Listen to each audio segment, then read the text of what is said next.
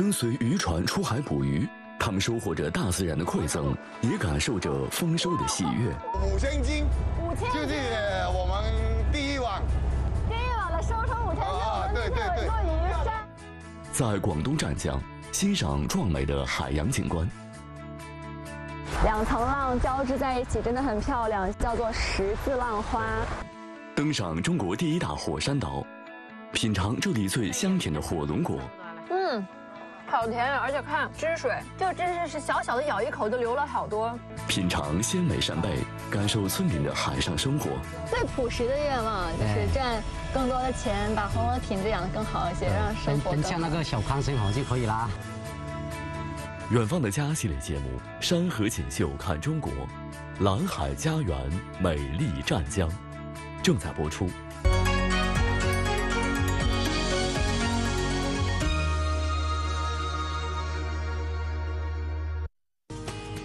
位于中国大陆最南端的广东省湛江市，拥有壮美的山海风光和多彩的南粤文化。湛江的大陆海岸线长达一千二百多公里，有雷州湾、北部湾两大天然渔场，渔业资源十分丰富。我们远方的家事旅组来到湛江市遂溪县的江洪渔港，和当地渔民一起出海捕鱼，感受他们的海上生活。我们现在来到的是遂溪县的江洪渔港，现在是上午的十点钟，我们和蔡船长约好在这里见面，一会儿我们要一起去出海捕鱼了。哎，蔡船长，蔡船长你好，一会儿我们就要出海了是吧？啊，你哪是出海？啊，我看我们一会儿是要坐哪个船出海啊？出海了，对，那个尾等一下就是出咯。坐这个小船，然后去那边，是那个大的那个船吗？对呀，多把了嘅，最最大个。大的那个渔船。蔡宁是江木渔港的一位老船长，他告诉我们，在天气比较好的时候，他每天上午都会和船员们一起出海捕鱼。这一趟行程，他准备前往北部湾的渔场进行捕捞作业。江洪渔港是湛江西海岸最好的天然良港之一，在这里，不仅拥有良好的避风条件，生产补给和油水供应等设施也很齐全。因此，江洪渔港是雷州最新一带渔民的主要汇集点之一，也是湛江众多海鲜市场的货源地。刚刚我们行船了大概有五分钟的时间，然后开到了一个比较远的、稍微远的一个海域上，和我们要出海的这艘船现在靠近了，就是这艘船是吗？那的确比我们现在坐的这个小船要大很多啊！哇，看我们这次也是准备了很多的物资，因为要在海上漂泊差不多十九个小时。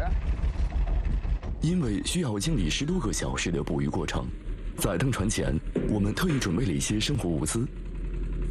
蔡船长告诉我们，他们每次也会准备半个月左右的食物，方便船员们在海上的生活。在湛江，每年的九月到来年五月之间是开渔期，对于靠海吃海的渔民来说，一年的收成好坏就看这几个月的捕鱼量。上船了之后，我才发现原来我们是两艘船一起开，是吗？谢谢。我看整个这两个船的体量都比较大哈，这是多大的船啊？这船啊，三十多米这种。三十多米，算是这种出海船比较大的了吗？啊，大个的还要大，也，这个不算是大。这还不算是大的。蔡船长告诉我们，这种渔船叫拖网船，在捕捞的时候需要两艘船并排前行，在当地。他们的这两条船只属于中等体量的渔船，最大的渔船仅船身就能够达到一百多米。随着渔船的启动，两艘拖船开始前往北部湾渔场进行捕捞作业。由于渔船上配备了先进的雷达以及海底声呐探测等电子仪器，一旦在海底发现鱼群，他们就能在第一时间看到信号。有鱼之后，它是怎么显示的呢？嗯，它一点点就也有红色的船开过去了，然后有鱼了，它就在这里显示出来。哦，我看这个数字六点二米、六点一米，这是什么意思呀？那水深度。哦，所以就是在我们前方差不多水下六米多左右，现在还是没有鱼的情况。等有鱼的时候，这边就会有显示了。对对。嗯。先进的电子仪器让捕鱼的效率提高了很多。但是，想要在变幻莫测的大海上有所收获，仍需要丰富的经验。蔡船长说，这一趟他们计划沿着渔场的浅海区域进行捕捞，因为在冬春季鱼群会在这里进行繁殖。在行驶了一个多小时后，仪器就探测到了鱼群的信号。对于等待了一上午的船员们来说，此刻正是他们最为忙碌的时候。我们刚刚在这片水域发现了鱼群，我们前面的这艘船已经把渔网放下去了。我们这艘船现在跟他们靠近之后，也在放网了。那这边有一位水手，他是专门负责来放这个缆绳的。看，因为往前走就会比较危险了，所以大家一直告诉我们说要靠着边儿，不要太往前。为了保障安全，船员们也是一直在提醒着我们需要注意的安全事项。经过二十分钟左右，船员们把一张近百米长的大网下到海里。下好网后，两艘渔船开足马力，全速前进。刚刚这个监测到这边是有什么鱼啊？叫黄鱼。黄鱼。对对。大？这个说不准，有的时候多的话，呃，一万几千斤都有。嗯，那我们刚刚这个放这个网，其实我看时间也是很快、很迅速的放下去了。对啊。大概要拖多久呀？六个小时。要拖六个小时。对。船员告诉我们，每一网鱼前后需要六个多小时才能保证捕捞量。每次出海，他们需要下网两次，前后十多个小时的工作量，对每一位船员的体力来说都是一次考验。距离下网已经过去了三个多小时，在船舱里，船员们也准备着晚饭。虽然只是简单的几个菜，却是他们在忙碌了一天后最丰盛的一餐。啊，这边是煎的鱼，然后这边是炒的鱿鱼和花菜，然后这边是排骨萝卜汤。那里是什么？是米饭吗？哇，这也是一个咸鱼咸鱼汤，哇。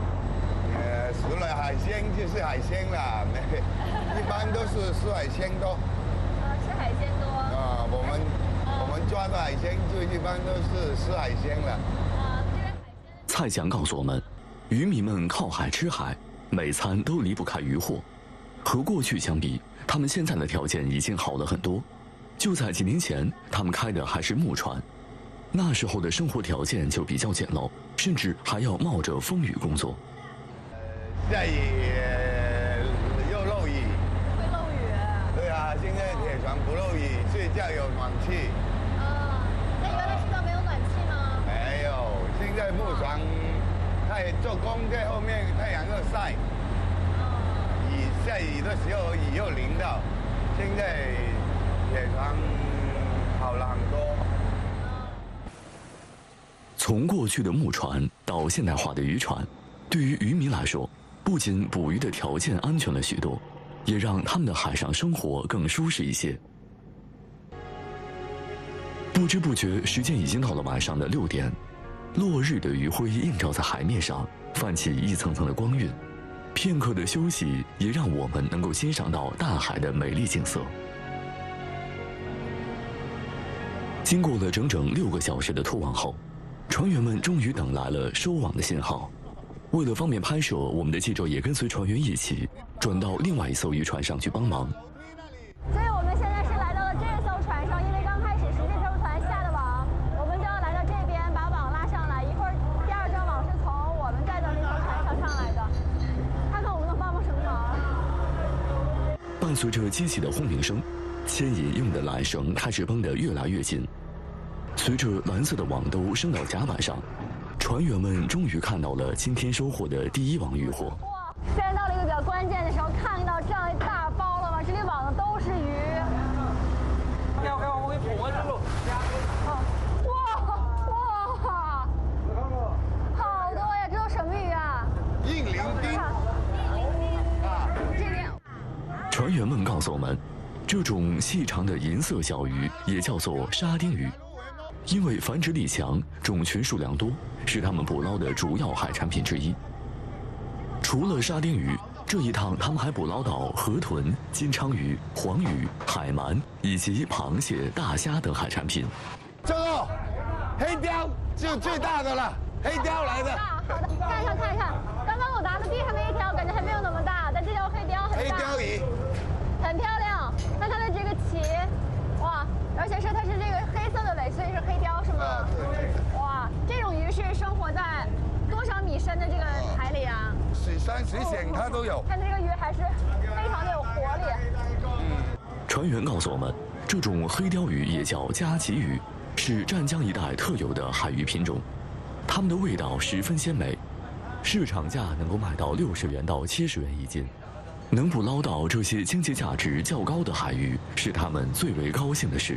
这里可能有五千斤，五千就是我们第一网，呃，的收藏。第一网的收成五千斤，啊我们那天有一座鱼山，呃，这种鱼一块钱一斤，就五千块。五千块在我们的面前，看是不是今天第一网我们收获还不错啊？呃，呃，算是一般般。但其实看大哥这个笑脸，就感觉很开心啊。那么多。肯定是开心了，是吧？是哈，今天的这个没有六个小时的时间，这个收获还对不错。对对。在船员们看来，第一网就能够收获五千多斤，是非常不错的成绩。按照市场的收购价来看，这一网他们就能够有两万多元的收入。随着第一网渔获分拣完成，船员们再次下网，继续忙碌起来。直到凌晨三点，他们迎来第二网的渔获时间是属于半夜的时间，别人都在休息，但是船上的渔民在这个灯亮如白昼的船上还正在着辛勤的工作。我们看远方的海面上，其实已经完完全全的漆黑一片了。那我们只能看到远处有零零星星的渔船也在同样进行着劳作。这一般也就是渔民们很日常的一天。那现在差不多是凌晨三点多的这样的一个时间，大家都已经在开始去分拣所有打捞上来的这些鱼类了。凌晨，就在大多数人熟睡的时候，渔民们仍在船上忙碌着。船员们告诉我们，虽然工作比较辛苦，但是只要有好的收获，就是最好的回报。随着船员们把渔获分拣装箱后，我们这一趟的捕捞行程也接近尾声。为了方便我们摄制组返回码头，蔡船长特意安排了渔船来接我们上岸。现在是凌晨的四点半，所有的鱼也整理好，也到了我们要下船的时间了。所有的这些鱼呢，可能等到了天亮了之后，就会拿到鱼市上去卖了。小船来接了，我们也要从这艘大船上回去了。谢谢各位大哥们啊！夜幕中，我们也完成了这一趟出海捕鱼的拍摄。从上午十点到第二天的凌晨五点，将近二十个小时的工作，让我们深入了解了渔民们的真实生活，更感受到他们出海的不易和艰辛。这就是生活在大海边的人们，他们在这里辛勤地耕耘着，用双手创造着财富，也收获着大海无私的馈赠。在广东湛江欣赏壮美的海洋景观。两层浪交织在一起，真的很漂亮，叫做十字浪花。登上中国第一大火山岛，品尝这里最香甜的火龙果。嗯，好甜啊！而且看汁水，就真是是小小的咬一口就流了好多。乘船出海，体验扇贝养殖的独特方式。三个月左右啊，我们就来看一下，看它大了多少。远方的家系列节目《山河锦绣看中国》，蓝海家园美丽湛江正在播出。看一片海，访一座城，我们来到最具人气的赤坎老街，这里的市井长巷锁住了湛江的烟火气和岁月时光。来到湛江呢，一定要逛逛赤坎老街。但是青姐说，在逛老街之前呢，先来带我吃吃当地的有名的这个水井头早餐。青姐就在前面了，就这家是吗？你看是不是很热闹？是我看很很出名的好多人，好多人呢。蔡婉清，赤坎老街的宣传志愿者，几十年的老街生活让他向我们推荐这家水井头早餐店时信心满满。都是我们车坎的，湛江车坎的那个著名的美食。特色哈。这里我看看有捞粉，有一些汤。你比较推荐什么？啊，我还是推荐你吃这个吧，海鲜捞粉，海试一试鲜捞粉是吧？湛江嘛，海鲜之都，应该是的，值得一试。好好好，那我们在这点餐，我们排个队看一看。在湛江，从来不缺海鲜的搭配，即使早餐也要丰盛至极。琳琅满目的各种食材和配料，是早餐店老板一早就准备好的生意秘诀。这些就是海鲜捞面里面，这都是所有放进去的食材。你看，这上身都是有生蚝啊、沙螺啊，还有泥丁啊，呃虾，还有扇贝，还有鱿鱼，还有一个花甲，对。哇，所以海鲜捞面里面就是会把所有的这些海鲜食材都放进去哈。对，像这样一碗粉要煮多长时间啊？三分钟左右。三分钟，对对对。哦。马小慧，早餐店的经营者。十多年前，从他开店的初期，就已经牢牢抓住食客的胃口。他深知，吃惯了海鲜的湛江人，哪怕食材有一丁点儿的不新鲜，都会被挑出毛病。而烹饪手法更要眼疾手快，这样才能既鲜又嫩。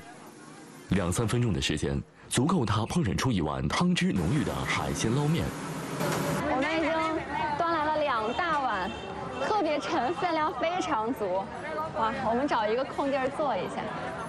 哇，看它的这个馅料真的是太丰富了，肉质很大的一块生蚝，对，然后有虾，有泥丁，有鱿鱼，这边还有一些贝壳类的，就是越翻我就感觉那里面的料越多，而且放的特别满，不是说单单的铺了薄薄的一层，而是放的特别特别满。像这样一碗多少钱啊？二十块，只要二十块钱。对，哇，这个真的是非常实惠了。哎，物美价廉的。嗯，出产于湛江本地的海鲜食材，既保证了新鲜度，价格也不贵。这样的风味美食对老街人来说，实在是近水楼台，先饱口福。嗯，因为它泡在整个这个海鲜食料和这个酱料的下面，所以把它再捞上来吃的时候，就感觉整个粉已经完全进入了整个这个料的鲜香的这个味道，海鲜的鲜香和酱料的浓郁，嗯，所以吃起来就是觉得身心特别的舒爽，完全的入味了，完全入味了。在有些微凉的早晨，喝上一口鲜美的跳跳鱼汤，来一碗汤汁浓郁的海鲜捞面，人的味蕾不由得被瞬间唤醒。再搭配上老街老井的独特景致，生活的滋味因为一份惊喜而弥散开来。老街浸透着一个城市的味道，也刻印着一座城市的记忆。行走在赤坎老街。斑驳的院墙，青石铺就的台阶，无不诉说着这里悠久的历史。赤坎老街，曾是一片临海的商业码头，早在宋代，这里就已形成古商小埠，闽浙粤琼等地的商户纷纷从海上来这里经商。清道光年间，赤坎以商旅攘西，舟车浮凑，向官府注册登记的商船就有四百多艘。成为粤西商业的物流中心。作为历史的见证，时刻用来运输货物的古码头遗址，被后人精心保留了下来。我们刚才在这里走下来的是我们的六号码头，赤坎古商埠的六号码头。我们现在所处的呢，往下都是填海出来的。一九二五年的时候填海，我们这一边呢才是最古老的民居，以及我们的商商业的古商埠。嗯，它之所以要叫古商埠呢，它有十个古码头。嗯，那些古码头呢，大多数的作用呢都是用来运货物。那货物呢，就在这里装卸。二十世纪二十年代初期，赤坎建设发展进入鼎盛，商贾大兴土木，赤坎成为岭南商贸重镇。时光流转，如今古老的码头成为了商业街区，近海的滩涂变成了住宅区，唯独老街的一条条巷弄和老屋仍旧存在。在这些老屋里，至今住着许多舍不得离开的老街人。陈叔叔，你在家吗？啊，我们来看你啦。你好，帮你打扰了。哇，正在正在吃饭啊哈。对对，叔叔，窄窄的。我们吃过了，吃过了。陈日胜是这间老屋的住户，他和老伴儿两个人在这里共同居住了十多年。对于他们来说，这几年老街最大的变化就是游客渐渐多了起来。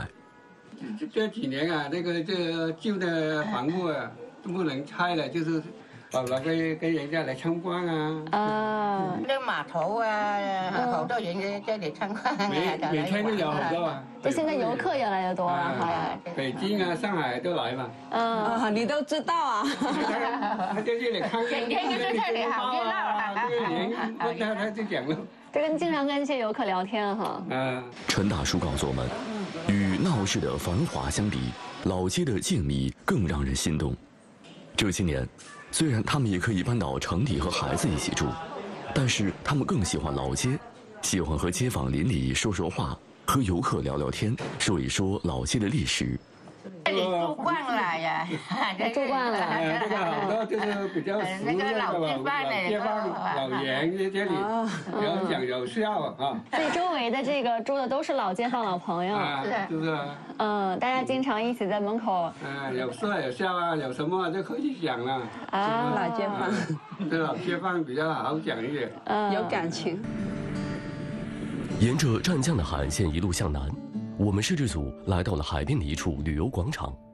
从地图上看，这里处在中国大陆的最南端。我看这边写的就是中国大陆最南端了哈，就是我们所在的这片区域。对对对，我们现在所在的地方就是我们中国大陆的一个最南端。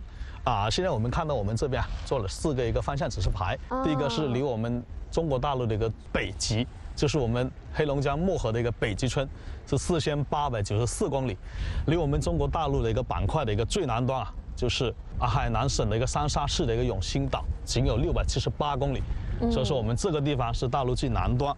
前面那片海就是前面那片海呢，就是我们对面看过去就是海南。嗯，对。独特的地理位置让这片旅游区拥有许多人文景观。景区内，一座具有百年历史的灯塔依旧为来往船只护航照明。我们跟随着向导来到海边。在这里，从空中俯瞰海面，能见到十分神奇壮观的河水线景观。我们这边，我们现在看过去啊，就是我们看到两个浪往中间拍河。嗯。我们如果用航拍从天空看的话，一条水线往海里面延伸，嗯，就跟合在一起一样。其实这条线的话，就是我们叫做河水线。它怎么形成的呢？其实它是由于我们地球的一个自转，像我们左手边这边是琼州海峡。它的水流的话是自东向西，我们现在看过去，这边很平静的这边是北部湾，它的水流是自北向南，有一个自转，在这个地方然后进行一个合拍水在两边的浪在这边拍起来，所以我们就叫河水线。当地向导告诉我们，因为现在正是涨潮的时间，水流之间的交汇还不明显，但是从空中俯瞰。还是能看到两条水流形成的奇特浪花，浪花从海面远处滚滚而来，沿着沙滩的方向涌起一层层的排浪，一道接着一道，蔚为壮观，让人不得不惊叹于大自然的奇特之处。由于海的两种不同状态嘛，我们也给它形容分析一下，就是说左边的这么奔急，这么汹涌，像一个。热情的一个男孩，我们这边很平静，我们叫个婉约的女孩，在河水线这个地方碰到了激情的一个碰撞。所以其实我们看这后面的这个两层浪交织在一起，真的很漂亮。像你告诉我的，叫做十字浪花。然后可能跨过这片海域就是海南岛。我们这边就以海南隔海相望，特别在晚上的时候，海南就是我们的一个天然的景观。人们把这片大海赋予了美好的想象。也让这片独特的景致变得浪漫多情起来。近年来，身处大陆最南端的角尾乡放坡村，也被当地人称作“南极村”。村民因地制宜发展生态旅游，开办渔家乐和民宿，让这片位于祖国大陆最南端的旅游景点，成为了湛江最知名的休闲度假区之一。作为一座海滨之城。湛江不仅有着漫长的海岸线，还拥有许多独具特色的海岛。其中，湛江市东南处约四十公里的挠洲岛不仅风光秀丽，还盛产各种瓜果蔬菜以及地方特产。我们摄制组来到了有着“瓜果之乡”美誉的挠洲岛。我们现在来到的是东南码头客运站，一会儿我们要坐船去到对面的挠洲岛。挠洲岛呢是中国第一大火山岛，在那边的物产是很丰富的，所以我们和小蔡姐在这边约好了见面，一会儿一起登岛上去看一看。小蔡姐久等了，没有没有。我看这边这个码头就是大家平时坐轮渡去到对面岛上的一个码头，是的。呃，这一边就是坐客船专门载人的，然后另外那一边是渡船来的，可以载车的，也可以载货车。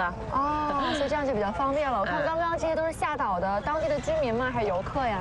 大多数都是居民来的。嗯，因为我们岛内很多人在外面工作呀、学习的呀、呃上学的嘛，他就会在这里出去了。嗯，像岛上也有很多人住吗？有啊，我们岛内有五万人，有五万人啊。所以像这样看来，这个岛的面积还是很大的哈。有五十六平方公里，哦，算起来不小。待会儿带你转一下。好。负责宣传工作的蔡婉玲告诉我们。虽然挠洲岛并不算湛江最大的海岛，但是因为距离市区近，再加上各种丰富的资源，常年定居在海岛上的人很多。跟随蔡婉林，我们登上了前往挠洲岛的客轮。像之前的话，夏天我们这里就属于旺季来的，很多，尤其是周末，周末都是家庭形式的过来。我们岛内呢是以那个海产还有农作物为主。待会儿去到，你就看到一片都是绿色。听着蔡婉玲的介绍，我们对即将到来的海岛之行更加期待。在海面上行驶了大约二十分钟后，我们抵达了挠洲岛。挠洲古称芒洲，在二十至五十万年前，由海底火山喷发而成，是中国的第一大火山岛。海岛面积将近五十六平方公里，地势平坦，居民大都集中在海岛沿岸。其实我们挠洲岛呢，是因为是那个火山爆发，嗯，呈现出来的一个海岛。然后我们这里的土地呀比较肥沃，嗯，那个有火山灰的成分，那矿物质啊都比较高，所以种出来的水果质量也比较好。哦，像我们这里那个火龙果收购都很价格上面是挺受欢迎的，因为我们价格偏高一点点。得益于优质的土壤。挠洲岛上种植出的火龙果不仅味美多汁，收购价格也比岛外要高出一些，因此农户们种植火龙果的积极性很高。在蔡婉玲的带领下，我们来到了挠洲岛上的赤马村，这里是岛上火龙果种植面积最大的基地之一。哇，这边看，两边结的都是满满的火龙果，可能还没有完全长熟，都是绿色的。哇，等到它们都变红了之后，这一片得多好看啊！再有一个星期就差不多了，一个星期就五天到一个星期，小心啊！啊，哦，这边这个红了吧，已经有变红的了。火龙果每年可以开花十二到十五次，它们的采收期很长，再加上春冬季补光，产果期甚至能达到六到七个月。因此，每隔一周左右的时间，农户就要收果一次。在地里，我们见到了正在采摘火龙果的窦文琪。他家在这里种植了十五亩地。哇，这棵好大呀！我们平时摘果呢，都是这样子的哈。嗯。他这里，把它这样子放远一点，这样直接剪下去，不能看着后面拖着它，因为怕它把它剪烂，剪到皮的话，它就卖不出去了。哦。所以要穿透上面这个绿色的叶子是吧？放进来一点好吗？这样扶着它就可以剪了。你来吧，你来试一下。因为火龙果的果实生长在叶茎上，所以采摘的时候一定要连着根一起剪下来，这样既能保证果实有一个好的卖相，也不会破坏整个果心。你小心。在现场，我们的记者也体验了一回采摘火龙果。嗯，行了，可以了。对，好大的一颗呀，跟我的这个脸比一下，因为一个快比我的脸都大的一颗大大的火龙果，而且颜色特别鲜亮。可能因为今天阴天哈，如果说太阳更好的时候，阳光打在这个果子上，颜色就会更亮、更亮、更好看了。窦文琪说，在他们这里，火龙果的每个果茎上只保留一到两颗果实，所以营养集中，这样果实就会长得又大又甜。最大的火龙果能达到两三斤重，啊，闻着都是那种清香味儿，大大的吃一口啊，嗯，撕一下，嗯，甜吧，好甜，而且看，你看这个汁水，嗯，这个汁水是小小的咬一口就流了好多你看我手上的颜色，就是天然的这种染料的颜色，很漂亮，很清甜。嗯，就是尤其是越往心儿里面吃，就感觉越甜。对，它的心里面是更甜的，里面是更甜的哈。富含各种维生素以及蛋白质的火龙果，吃起来口感绵柔顺滑，甘甜中还带有一丝独有的清香，十分好吃。同时，火龙果的果肉糖分以葡萄糖为主，人体容易吸收，也很适合在运动后补充体力。因此，挠洲岛又大又甜的火龙果深受市场欢迎。现在一般都是会卖到哪里去？广州的收购商的话就比较比较多，嗯，因为他那里是个中转站吧，他这里收购到广州去，然后他再销往全国各地嘛。因为我们的火龙果保鲜工作嘛。嗯，还不是很先进，它不是销得很远。嗯嗯，我们希望它以后能够销得更远呢。所以就是如果有更好的这样的保鲜的手段，能够运到更远的地方的话，可能在祖国很北方的一些朋友的话，也能吃到挠洲岛这种又大又甜又漂亮的火龙果，也是一件很幸福的事情啊。夕阳西下，薄雾中的挠洲岛显得十分美丽。码头上。渔民们载着海货，正在回家的途中。田地里，农民们还在耕耘着一亩亩良田。平静的海岛上，每一个人都在辛勤地劳作着。他们收获着丰收的喜悦，也创造着这座海岛的未来。乘船出海，体验扇贝养殖的独特方式。三个月左右啊，我们就来看一下，看它大了多少。品尝鲜美扇贝，感受村民的海上生活。最朴实的愿望就是赚更多的钱，把红螺品质养得更好一些，让生活更像那个小康生活就可以啦。远方的家系列节目《山河锦绣看中国》，蓝海家园美丽湛江正在播出。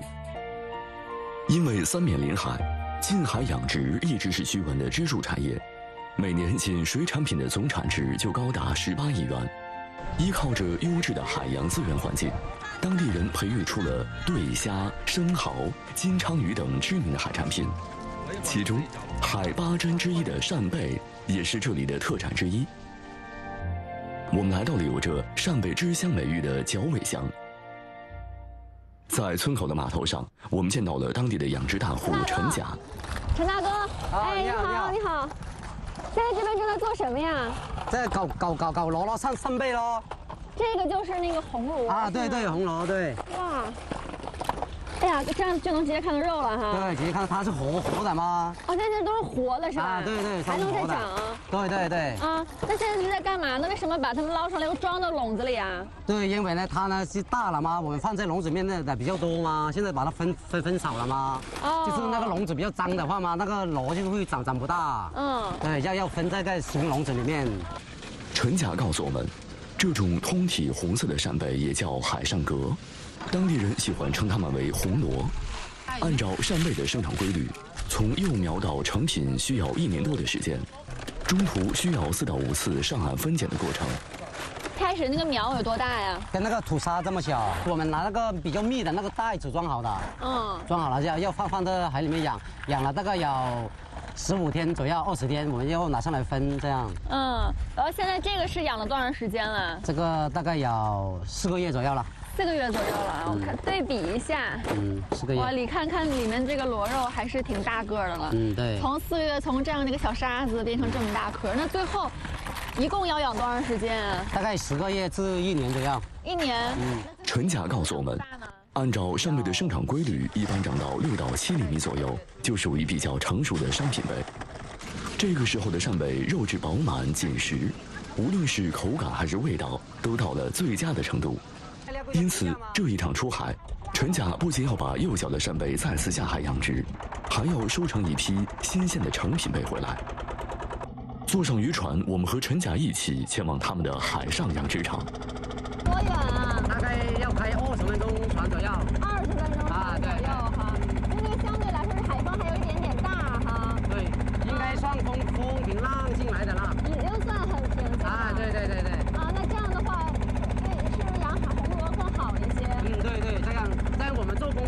辛苦吗？啊，那我们看前面那个一排一排的那些，这个这个就是我我们搞来养养养这个螺的啦，就是把把那个砖固固固定好那个泡泡泡沫啊，那个那个浮浮球之类的嘛。经过二十多分钟的行程，我们来到了陈甲一家的海上养殖场。他告诉我们，海上看到的这片八十多亩、一万多笼的扇贝，都是二零二二年下的幼苗。一到养殖场，陈甲和妻子两人就开始忙碌起来。虽然他们养殖的扇贝是一种耐干性很强的品种，在无水的情况下也能够存活三到四个小时，但是像今天这样上岸进行挑拣运输，还是需要抓紧时间把幼苗都投放到海里。这一条绳要挂多少呀？这个。一两个泡沫之间呢，有二十三笼、四笼左右。二十三四笼左右哈。对。所以呢，这种天气呢，我们最好最好干活啦。就这种，就相对来说好一点。那种风浪更大的时候是吗？风风浪啊，对，风浪更大的时候也也也也是这样做，可是就辛苦一点，那船还会摇来摇去啊，摆摆摆摆摆动吗？那那样的话是不是就会慢一些，啊，对对，辛苦一些？对。像平时把它们放在海里的话，还要做哪些工作吗？不用不用，就直接掉到海里面，就是就像这种的，三个月左右啊，我们就来看一下，看它大了多少。如果大了能够上市了呢，我们就把它拉拉上去卖了。陈家告诉我们。扇贝养殖虽然不需要太多的照顾，但是非常看重生长的环境。良好的水质不仅能够保证扇贝健康成长，更能够为它们提供丰富的饵料。而他们所在的这片海域水质状况十分优良，很多地方都达到了国家一二类水质。同时，这里的水温常年保持在十到十五摄氏度左右，非常适合扇贝的生长和繁育。优质的水域环境让这里的扇贝生长状况十分优良。在完成幼苗投放的工作后，陈甲带我们来到了成品贝的养殖区域。啊天！那个比较重来的。好沉啊这一袋。对，这个就是养养养养大的了吗？放放放久了的话呢，它这个笼子就会脏一点吗？嗯，这个养大了的跟刚才那个小的三个月的这个重量真的是不一样。陈甲说。因为角尾乡出产的扇贝品质优良，这里几乎每天都会有外地的商户来订购商品。有时候他们一天就能卖出几百斤。到了每年的九十月份，是这里成品贝集中上市的时间。那时候，整片海上就会排满生活扇贝的渔船，场面十分壮观。哇，快看里面！这个里面的红螺肉就很大个了，跟我们之前看的那个三个月的比，就是有很大的差别。哦，应他应该每个都都都咬来的。吓我一跳！吓我一跳！我一碰它那个肉，它就张了，就合了嘴巴。我们看一看，哎呀。这个红螺呢，就是基本上是天天然性来的啦，嗯，没有什么加工啊、饲料来的，全全部都是天天然性的。嗯，我大概有八十亩左右吧。八十亩左右。嗯，对。哇，那我们现在能目之所及这一大片全是您的。对。哇，比较宽来的啦。那这个产量能有多少啊？这个产量啊，遇到价格好的话呢，有三四十万左右吧。嗯。陈家说。每年三四十万元的收益，扣除人工和购买贝苗的成本，一年下来，他们能够有二十万元的利润。在当地，这算是一个不错的收入。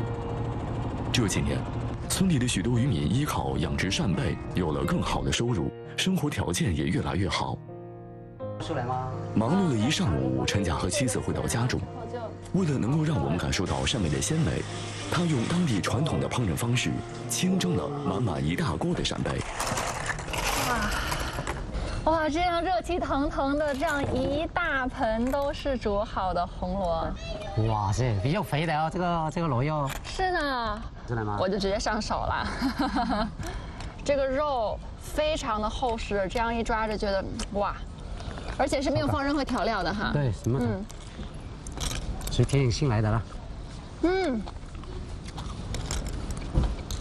有料，很好吃，很有嚼劲，对哦，满口的这种咸鲜香，哇，就感觉想要一口吃好多个放嘴里面吃。就像它这个白色的，就是比较肥来的嘛，这个这个东西啊，就像这个红红色的也一样，就跟那个螃蟹一样嘛，那个那个黄的，有黄有高，对对对。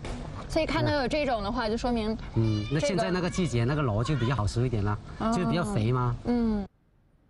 因为是刚捕捞上来的扇贝，保持了食材最为鲜美的味道，再加上扇贝厚实肥美的肉质，吃上一口满嘴生鲜，几乎让人停不下来。春霞说，在他们这里，大人孩子都喜欢吃扇贝，不仅可以用来清蒸，还能做成蒜蓉粉丝扇贝、扇贝蒸蛋等等。如今，依靠着村里的深加工企业。扇贝更是不愁销路，几乎养殖多少就能卖多少。那接下来有什么样的这个计划吗？现在也是养这个东西啊，就是看养养养养多养少啊，或者就基本上就固定了，就是在两两万笼左右了，也不想搞那么多了，太多了也更加辛苦嘛，是不是？嗯，大家有什么愿望呢？我也是一样啊，就努力做，赚多多钱啊。如今依靠着海水养殖，角尾乡每年仅养殖业的收入就有六千多万元。而随着深加工的企业越来越多，也让村民们的海鲜能够在第一时间得到加工和保存。未来，在这片蔚蓝的大海上，生活在海边的人们还将继续耕耘，收获丰硕的果实。